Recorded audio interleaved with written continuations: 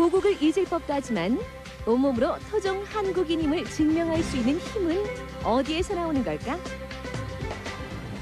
제가 그 그런 차별 의식을 느꼈을 때 제가 제 자신이랑 약속을 했어요. 나는 자랑스러운 한국인이고 난 한국인이야. 어딜 가든 난 한국인이에요. 동양인이고 동양인처럼 한국인처럼 사- 생활을 하면서 당당하게 살아갈 거야. 그때부터 사람들이 오히려 저를 저에게 어, 저에게 오히려 저를 존중해주고 그런 걸 느꼈어요. 이렇게 언제 어디서나 한국을 잊지 않았다는 그녀. 그녀의 이런 한국 사랑은 결국 음악에서 빛을 발휘하게 됐다고 하는데 어, 모든 사람들이 몇달 동안 같이 일했던 사람들이 바나사 메이 같은 음악을 해라, 유진박 같은 음악을 해라 그렇게 이렇게 저를 많이 시켜왔어요. 근데 그건 아니더라고요. 1인자가 뭐든지 어떤 필드에서 1인자가 돼야지만 사람들이 기억해주지 누구의 카피는 기억을 하지 않거든요. 그러니까 대중을 따라가지 않고 제가 하고 싶은 음악으로 대중을 따라오게 하고 싶었어요. 그게 동양 음악과 서양 음악을 합류시킨 아주 신비한 매력적인 음악을 음악에 빠지게 됐죠. 오늘은 버라지 팀과 제니의 합동 무대 마지막 공연 날.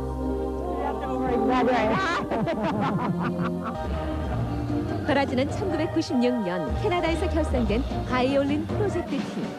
나야가라 공연 때는 3만 명의 관중이 모였을 정도로 각광받는 공연인데 제니와는 한국 방문을 계기로 연을 맺게 되었다고.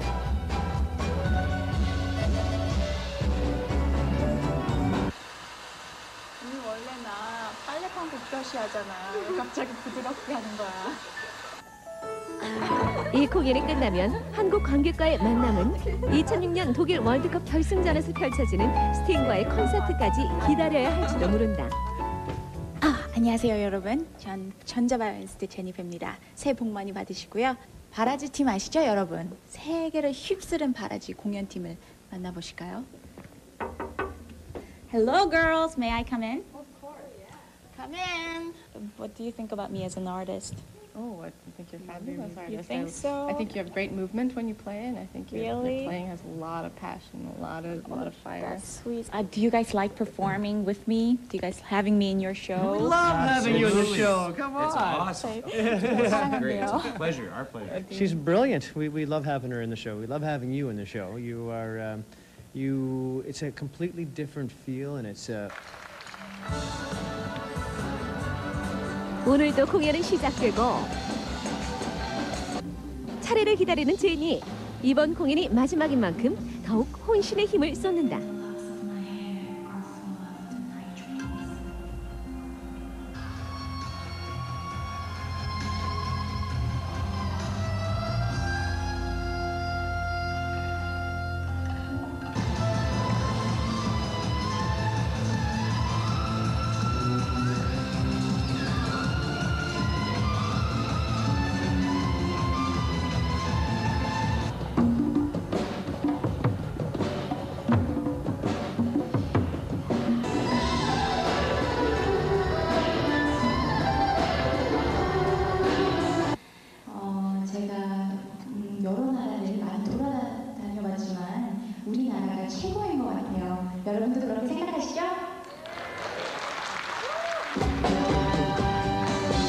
이제 사랑스런 애국자 제니베가 세상을 향해 힘찬 날갯짓을 시작한다. 더 노력해서 여러분들을 찾아뵐 것을 약속드립니다. 파이팅. 목표는 우리 땅입니다. 넘보지 마세요.